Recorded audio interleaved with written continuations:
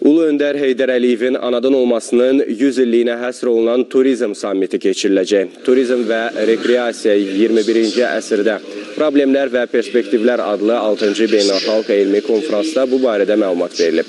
Konfransda həmçinin diqqətə çatdırılıb ki, Heydər Əliyev və turizm sənədli filmi, eləcə də kitabının hazırlanması işlərinə də başlanılıb.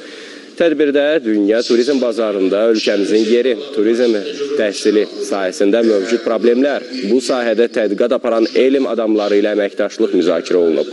Konfransda 6 ölkədən 105-də tədqiqatçı, 105 tədqiqatçı iştirak edib.